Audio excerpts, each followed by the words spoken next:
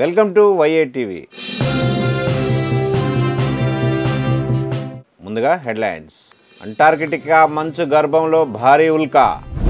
ఇంకా అదుపులోకి రాని సికింద్రాబాద్ మంటలు. మేరీల్యాండ్ గవర్నర్గా తెలుగు మహిళ. నూట ఇరవై ఐదవ రోజుకు రాహుల్ జోడో యాత్ర ఇప్పటి వరకు మూడు వేల కిలోమీటర్ల నడక. ఈ నెల ఇరవై ఐదు నుంచి గ్రూప్ వన్ ప్రధాన పరీక్ష శిక్షణ మున్నేరు వాగుపై కేబుల్ బ్రిడ్జి నిర్మాణానికి నూట ఎనభై కోట్లు మంజూరు. కరెంటు తీగలు పట్టుకుంటే బండి సంజయ్కి నిజం తెలుస్తుందన్న మంత్రి పువ్వాడ. తిరుమలలో భక్తుల రద్దీ స్వామివారి ఉండి ఆదాయం నాలుగు పాయింట్ మూడు మూడు కోట్లు. చిరంజీవి మా పార్టీలోనే ఉన్నారు APCC chief Gidugu Rudraraju. Football స్టార్లతో Amitabh అతిథిగా పిలిచినందుకు థ్యాంక్స్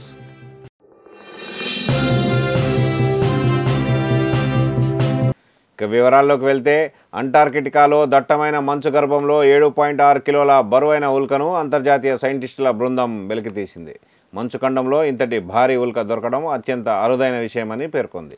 గత డిసెంబరు పదకొండు నుంచి నెల రోజుల పాటు జరిపిన అన్వేషణలో మరిన్ని చిన్న సైజు ఉల్కలు కూడా దొరికాయి. శాటిలైట్ ఇమేజీలు జీపీఎస్ సాయంతో వీటి జాడను కనిపెట్టారు. ఇవి బహుశా ఏదో ఆస్టిరాయిడ్ నుంచి రాలిపడి ఉంటాయి. వేలాది ఏళ్ళుగా మంచు గర్భంలో ఉండిపోయాయి. వీటిని పరిశోధన నిమిత్తం బ్రెజిల్స్కు పంపాం. అందులో భూమి ఆవిర్భావంపై కొత్త విషయాలు వెలుగులోకి వచ్చే అవకాశం ఉందని సైంటిస్టులు చెప్తున్నారు. ఇక సికింద్రాబాద్ అగ్ని ప్రమాదంలో మంటలు ఇంకా అదుపులోకి రాలేదని అధికారులు తెలిపారు. ఈ ప్రమాదంలో ఇద్దరు అగ్నిమాపక సిబ్బంది అస్వస్థతకు గురయ్యారు. ఏడీఎఫ్లో ధనుంజయ రెడ్డితో పాటు ఫైర్ ఇంజన్ డ్రైవర్ నరసింహరావుకు అస్వస్థతకు లోనయ్యారు. ప్రస్తుతం ఏడీఎఫ్ఓ డ్రైవర్ ప్రైవేట్ ఆసుపత్రిలో చికిత్స పొందుతున్నారు. చికిత్స పొందుతున్న డ్రైవర్ నరసింహరావు పరిస్థితి విషమంగా ఉందని వైద్యులు వెల్లడించారు. వెంటిలేటర్పై డ్రైవర్కు చికిత్స అందిస్తున్నట్లు సమాచారం. సికింద్రాబాద్ పరిధిలోని రాంగోపాల్పేట నల్లగుట్టలోని ఓ షాపింగ్ మాల్లో గురువారం ఉదయం అగ్ని ప్రమాదం సంభవించిన సంగతి తెలిసిందే. ఇక అమెరికాలో మరో తెలుగు మహిళ చరిత్ర సృష్టించారు. మేరీల్యాండ్ లెఫ్టినెంట్ గవర్నర్గా పోటీ చేసి విజయం సాధించిన అరుణా మిల్లర్ బాధ్యతలు చేపట్టారు. Aruna Miller తల్లిదండ్రులది Andhra Pradesh. Missouri university of science and technology నుంచి ఇంజనీరింగ్లో అరుణ పట్టా అందుకున్నారు. ఇప్పుడు మేరీల్యాండ్ గవర్నర్గా పదవి బాధ్యతలు స్వీకరించి ఆ ఘనత సాధించిన తొలి ఇండియన్ అమెరికన్గా రికార్డులకెక్కారు.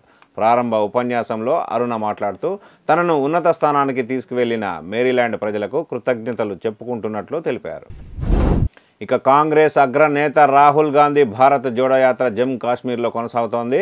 గతేడాది సెప్టెంబర్ ఏడున కన్యాకుమారిలో ప్రారంభమైన యాత్ర నేటితో నూట ఇరవై ఐదవ రోజుకు చేరుకుంది. శుక్రవారం ఉదయం జమ్మూలోని కతువాలో రాహుల్ తన నడక సాగిస్తున్నారు. జమ్మూ కాశ్మీర్లో ఈ నెల ముప్పైతో యాత్ర ముగియనుంది. రాహుల్ గాంధీ ఇప్పటి వరకు మూడు వేల కిలోమీటర్లకు పైగానే నడిచారు. ఇక తెలంగాణలోని ఖమ్మం ఆదిలాబాద్ వరంగల్ హైదరాబాద్ స్టడీ కేంద్రాల పరిధిలో ఈ నెల ఇరవై ఐదు నుంచి మూడు నెలల పాటు ప్రధాన పరీక్ష శిక్షణ తరగతులు ఉంటాయని BC study circle director Alok Kumar పేర్కొన్నారు. ఖమ్మం ఆదిలాబాద్ వరంగల్ స్టడీ సెంటర్లో వంద మంది చొప్పున హైదరాబాద్ స్టడీ సెంటర్లో రెండు వందల మంది మొత్తం ఐదు వందల మందికి శిక్షణ ఇస్తామని వివరించారు. ఇప్పటికే స్టడీ సెంటర్లో శిక్షణ తీసుకున్న అభ్యర్థులు నేరుగా ప్రధాన పరీక్ష శిక్షణకు హాజరు కావాలని శిక్షణ తీసుకోని అభ్యర్థులు వెంటనే దరఖాస్తు చేసుకోవాలని సూచించారు. వీరిలో మెరిట్ ప్రకారం అభ్యర్థులను ఎంపిక చేస్తామన్నారు. ప్రతి అభ్యర్థికి మూడు నెలల పాటు నెలకు ఐదు వేల చొప్పున స్టైఫెండ్ స్టడీ మెటీరియల్ అందిస్తామని తెలిపారు. ఇప్పటికే రాష్ట్రంలోని పదిహేను బీసీ స్టడీ సర్కిళ్ళు స్టడీ సెంటర్లో శిక్షణ తీసుకున్న అభ్యర్థుల్లో నూట ఎనభై రెండు మంది గ్రూప్ వన్ ప్రధాన పరీక్షకు అర్హత సాధించారని అలోక్ కుమార్ తెలిపారు. ఇక సూర్యాపేట అశ్వరావుపేట మార్గంలో ఖమ్మం పట్టణంలోని మున్నేరు వాగుపై ట్రాఫిక్ సమస్యలకు త్వరలోనే చెక్ పడనుంది. ఖమ్మం జిల్లా ప్రజల చిరకాల స్వప్నం త్వరలోనే సాకారం కానుంది. ఖమ్మంలో బీఆర్ఎస్ భారీ బహిరంగ సభ సందర్భంగా సీఎం కేసీఆర్ హామీ ఇచ్చి కేవలం ఒక రోజులోనే ఇందుకు సంబంధించిన నిధులను విడుదల చేశారు. ఈ మేరకు రోడ్లు భవనాల శాఖ మున్నేరుపై అత్యాధునిక పద్ధతుల్లో కేబుల్ బ్రిడ్జి నిర్మాణానికి నూట ఎనభై కోట్లు మంజూరు చేస్తూ గురువారం ఉత్తర్వులు జారీ చేసింది. నాలుగు వందల ఇరవై మీటర్ల పొడవున నిర్మించనున్న ఈ కేబుల్ వంతెన మూడు వందల మీటర్లు కేబుల్పై నిల్వనుండగా మిగిలిన నూట ఇరవై మీటర్లు ఆర్సీసీతో నిర్మించనున్నారు. సీఎం హామీ మేరకు గురువారం మున్నేరు వాగుపై అత్యాధునిక కేబుల్ బ్రిడ్జి నిర్మాణానికి నూట ఎనభై కోట్లు మంజూరు చేస్తూ ఆర్ఎండ్బి శాఖ ముఖ్య కార్యదర్శి ఉత్తర్వులు జారీ చేశారు. హైదరాబాద్లోని దుర్గం చెరువుపై నిర్మించిన తరహాలోనే ఖమ్మం మున్నేరు వాగుపై నూట ఎనభై కోట్ల వ్యయంతో కేబుల్ వంతెన నిర్మించనున్నారు. దీంతో సూర్యాపేట వరంగల్ మార్గాల నుంచి ఖమ్మం వచ్చే ట్రాఫిక్తో పాటు ఖమ్మం పట్టణ ప్రజలకు ట్రాఫిక్ ఇబ్బందుల నుంచి ఎంతో ఉపశమనం లభించనుంది. త్వరలోనే వంతెన నిర్మాణానికి అవసరమైన డిజైన్లు రూపొందించి టెండర్ల ప్రక్రియ చేపట్టనున్నట్లు అధికారులు తెలిపారు. ఇక ఖమ్మంలో బీఆర్ఎస్ పార్టీ సభ విఫలమైందంటూ ప్రతిపక్ష నాయకులపై రవాణా శాఖ మంత్రి పువ్వాడ అజయ్ కుమార్ ఆగ్రహం వ్యక్తం చేశారు. సభ ప్లాప్ అంటూ నోటికొచ్చినట్లు విమర్శించడం సరికాదని అన్నారు. ఖమ్మం సభ సూపర్ డూపర్ హిట్ అయిందని వాస్తవాన్ని జీర్ణించుకోలేక ప్రతిపక్ష పార్టీలు విమర్శలకు దిగుతున్నాయని దుయ్యబట్టారు. తెలంగాణలో వ్యవసాయానికి ఇరవై నాలుగు గంటల విద్యుత్ సరఫరా చేయడం లేదంటూ బీజేపీ రాష్ట్ర అధ్యక్షుడు బండి సంజయ్ చేసిన వ్యాఖ్యలు అబద్ధమన్నారు.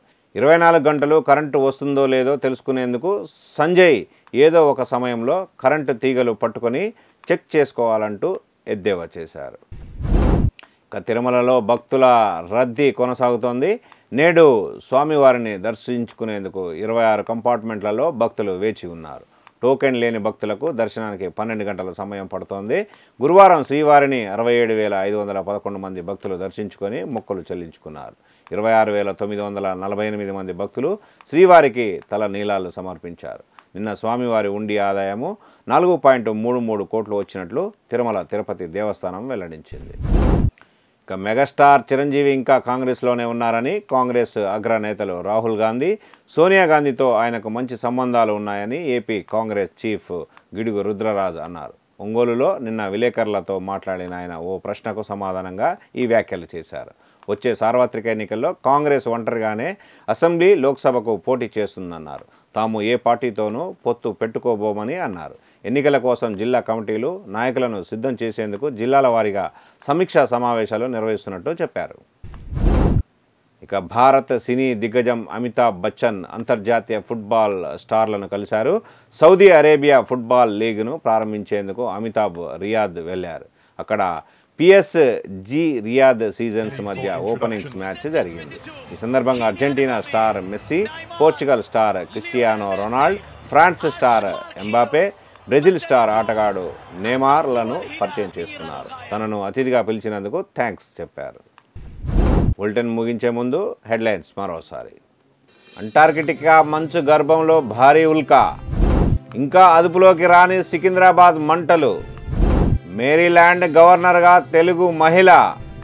నూట ఇరవై ఐదవ రోజుకు రాహుల్ జోడో యాత్ర ఇప్పటి వరకు మూడు వేల కిలోమీటర్ల నడక. ఈ నెల ఇరవై ఐదు నుంచి గ్రూప్ వన్ ప్రధాన పరీక్ష శిక్షణ. మున్నేరు వాగుపై కేబుల్ బ్రిడ్జి నిర్మాణానికి నూట ఎనభై కోట్లు మంజూరు. కరెంటు తీగలు పట్టుకుంటే బండి సంజయ్కి నిజం తెలుస్తుందన్న మంత్రి పువ్వాడ. తిరుమలలో భక్తుల రద్దీ స్వామివారి ఉండి ఆదాయం నాలుగు పాయింట్ మూడు మూడు కోట్లు. చిరంజీవి మా పార్టీలోనే ఉన్నారు APCC chief Gidugu Rudraraju. Football స్టార్లతో Amitabh అతిథిగా పిలిచినందుకు థ్యాంక్స్ ఇవి ఇప్పటివరకు ఉన్న అప్డేట్స్ మరిన్ని అప్డేట్స్తో మళ్ళీ మేము ముందుంటాను. అంతవరకు చూస్తూనే ఉండండి వైఏ టీవీ. నమస్తే.